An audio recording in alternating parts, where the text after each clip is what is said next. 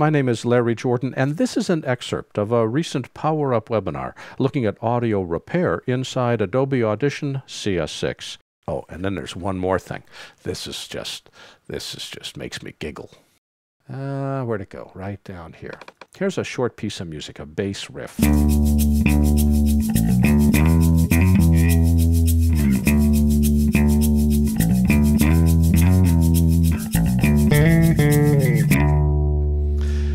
Was a great performance, and they just screwed up the last note.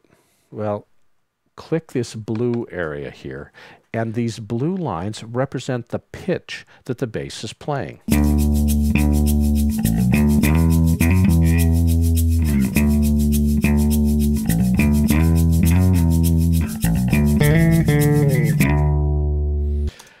If you want to transpose the entire piece, say it needs to come up a step because you really want that bass, but it's in the wrong key, you go to Effects, go to Time and Pitch. We can do an automatic pitch correction, a manual pitch correction, or stretch and pitch. I'm going to do manual.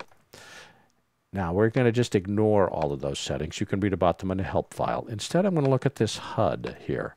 Normally when the HUD is showing, it allows us to change the volume of the clip. When I switch to pitch correction, it also gives me the ability to change the pitch in what are called cents. That's one one hundredth of a half step. So I click here, and if I click and drag, the green lines represent the changed pitch.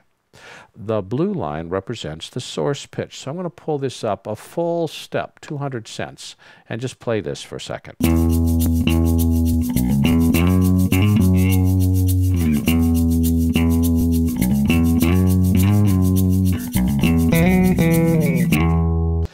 I didn't change the timing. So I've only changed the pitch. And if you think about it, that just can't be. If the pitch is going to go up, you got to change the duration. But it's actually stretching the clip so the duration remains the same, but changes the pitch. Now, what happens if, let's take this back down again. Remember, green represents the change. Blue rep represents the source. What happens if they just happen to screw up the last note? Okay, select the note you want to fix. This is like auto-tune run amok and we'll just pull that last note up a step. This will be painful, but it'll make the point.